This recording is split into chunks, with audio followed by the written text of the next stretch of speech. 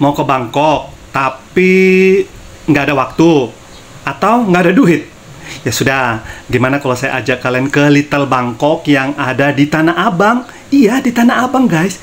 Ini baru buka loh bulan Januari 2024, jadi masih fresh. Kalau kalian lihat ke sini nih, ini kayaknya barang-barangnya sebagian memang produk import dari Bangkok. Jadi tunggu apa lagi nih? Dan juga sebagian ada katanya produk-produk lokal tapi kece-kece abis. Lihat deh warna-warninya dan juga stylenya itu kekinian banget. Jadi kayaknya nggak rugi kalau kalian nggak sempat datang ke sononya itu loh ke Bangkok. Oke, ini terletak di gedung metro lantai satu. Ke sini gampang sekali. Semuanya naik angkutan, angkutan, angkut ada di sini. So, datang ke sini belanja sediakan duit. Sebanyak-banyak karena kalian pasti akan kalap. Nyaman modern lah pokoknya. Thank you for watching